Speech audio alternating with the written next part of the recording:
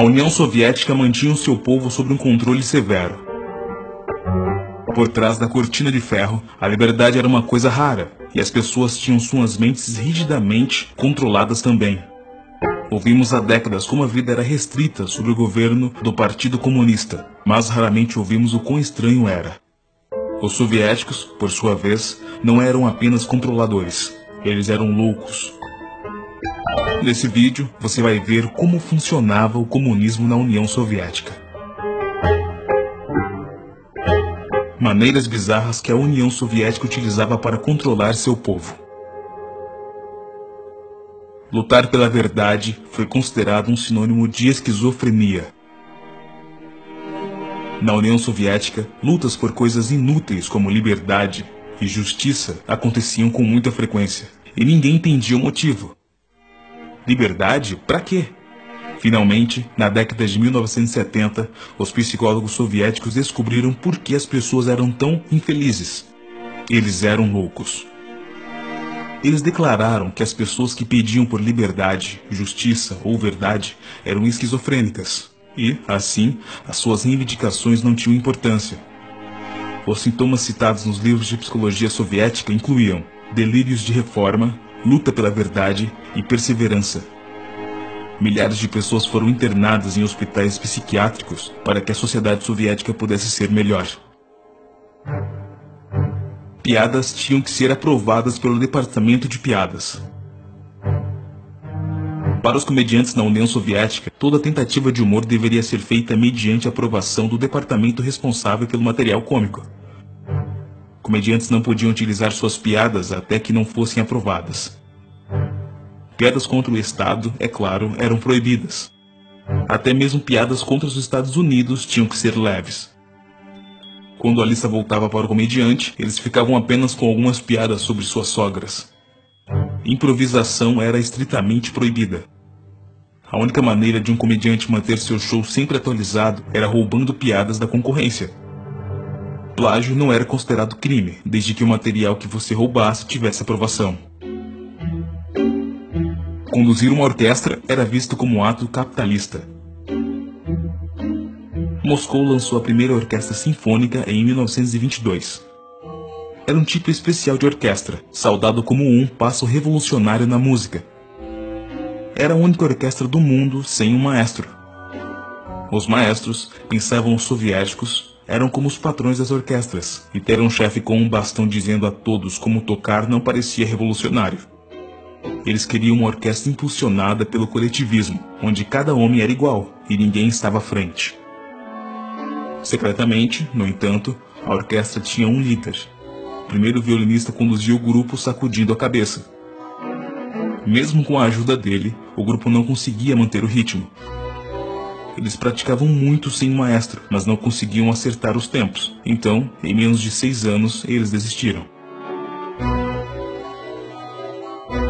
Museus do ateísmo ensinavam às pessoas os males da religião. Lenin exigia uma política de ateísmo militante e queria sistematicamente erradicar a religião, onde quer que ela pudesse ser encontrada.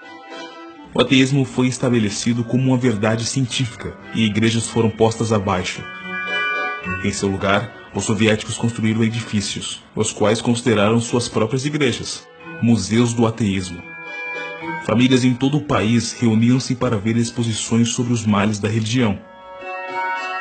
Tópicos que iam desde como a Igreja Católica propagava a guerra como um exército da salvação, até os milagres que, na verdade, eram fraudes para ganhar seguidores e enriquecer.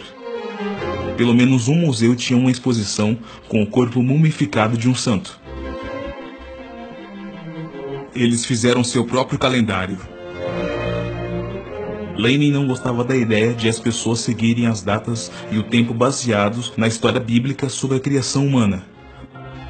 Por esse motivo, ele criou seu próprio calendário e chamou de Calendário Eterno. Tinha cinco dias na semana, seis semanas em um mês, doze meses em um ano, e cinco dias eram bônus para férias. Todas as datas que tinham sido retiradas de tradições religiosas passaram a ser datas para a celebração da ascensão do partido. O desemprego era considerado crime. Pode ser difícil fazer as pessoas trabalharem em países socialistas, mas os soviéticos encontraram uma maneira de resolver isso. Os que não tinham emprego iriam para a cadeia. A lei soviética rotulava os desempregados como pessoas de existência parasita. Em um dia que você perdesse o seu emprego, se tornava um criminoso e poderia ser preso. Mesmo aqueles que tinham um emprego, se chegassem atrasados, também corriam risco de serem presos. 20 minutos de atraso era considerado uma ofensa para a sociedade. Sair do trabalho mais cedo poderia acarretar em quatro meses de prisão. Faltar em um turno dava até seis meses de trabalho comunitário. O filme Vinhas de Ira foi proibido por mostrar pessoas com carros. Quando Stalin soube que estavam produzindo um filme sobre as vinhas de Ira, ele ficou emocionado ele acreditou que aquele seria uma propaganda perfeita contra os americanos. O sofrimento dos trabalhadores americanos pobres iria provar que o capitalismo era, de fato, ruim. O filme saiu na URSS com o título Caminhos para a Ira, pois nenhuma alusão à Bíblia poderia ser feita. Porém, o filme não foi exatamente como o esperado, pois nele os pobres apareciam tendo seus próprios carros, de tal modo, o livro e o filme foram expressamente proibidos. A proibição dos Beatles.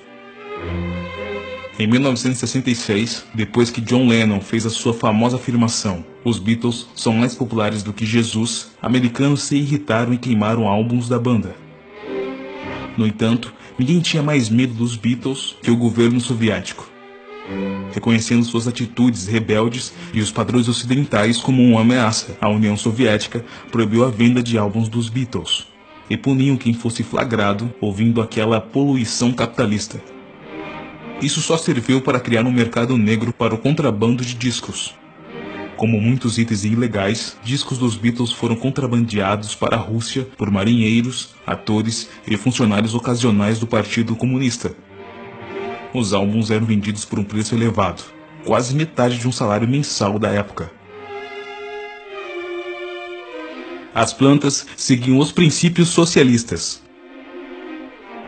O cientista soviético Trofim Lysenko tinha umas ideias estranhas sobre botânica.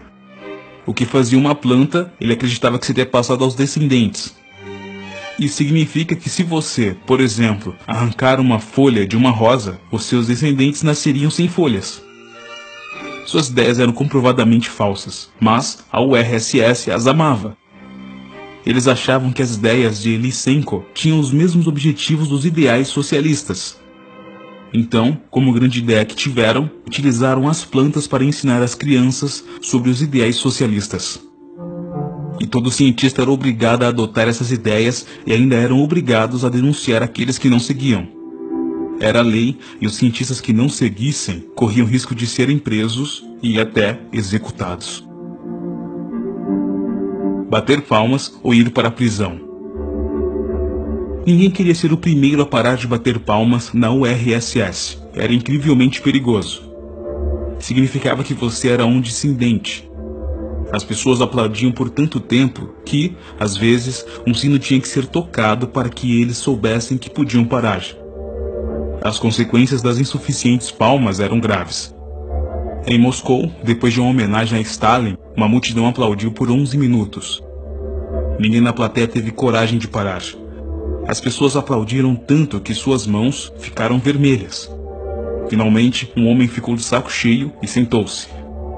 No mesmo instante, a multidão inteira o seguiu, sabendo que agora estariam a salvo. Certamente, o homem foi preso naquela noite e condenado a 10 anos nos campos de concentração. Antes dele ser enviado, a polícia avisou: nunca seja o primeiro a parar de aplaudir. Os alarmes estão tocando em todo o mundo. O mundo está em DEFCON 1. A Coreia do Norte disparou bombas nucleares nos Estados Unidos. O que vai acontecer você vê aqui, no vídeo que aparece na sua tela. Clique e assista.